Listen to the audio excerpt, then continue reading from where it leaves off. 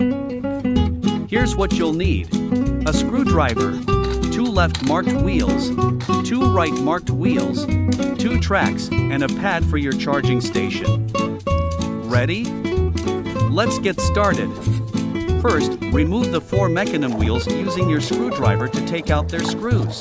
Now, put your new wheels on. Be careful to match the left and right markings on the wheels with their correct sides on the device.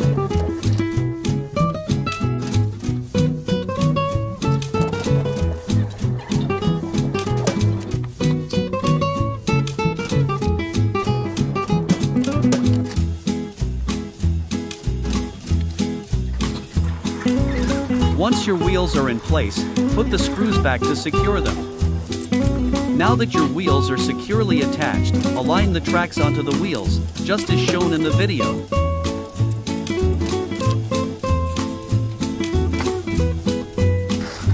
Lastly, place the pad directly under the charging station.